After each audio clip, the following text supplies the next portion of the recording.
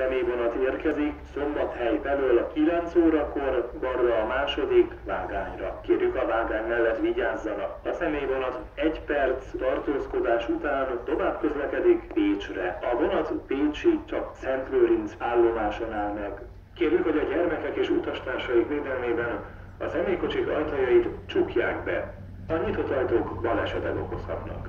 Kérjük vigyázzanak a fel- és leszállásnál. Minden kedves utasunknak jó utazást kívánunk.